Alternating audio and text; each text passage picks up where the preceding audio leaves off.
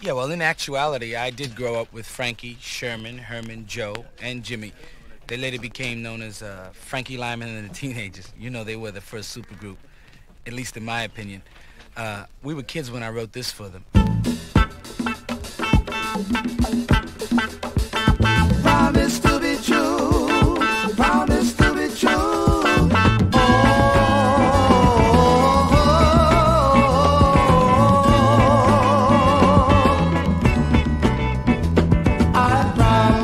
Love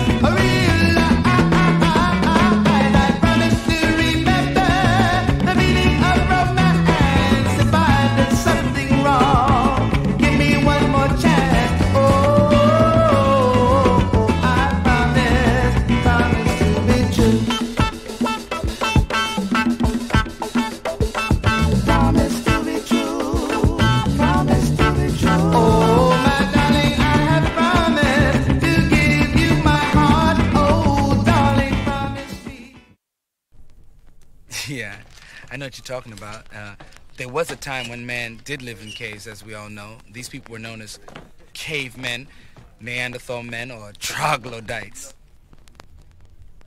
What we're gonna do right here is go back. Way back. Back into time. When the only people that existed were troglodytes. Cavemen. Cave women. Neanderthal. Troglodytes. Let's take the average caveman at home listening to his stereo.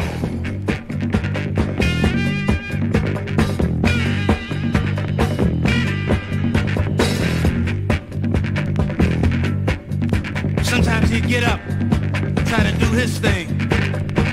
He'd begin to move.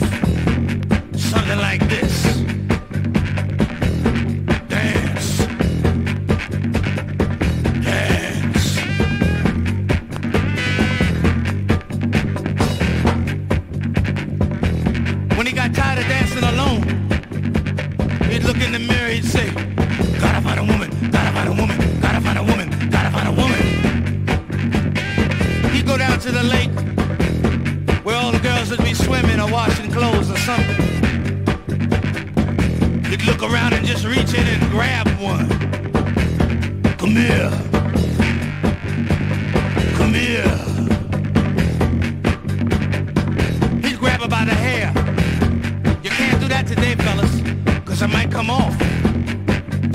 You'd have a piece of hair in your hand, she'd be swimming away from you.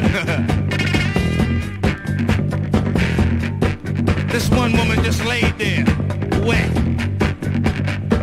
and frightened. He said, move.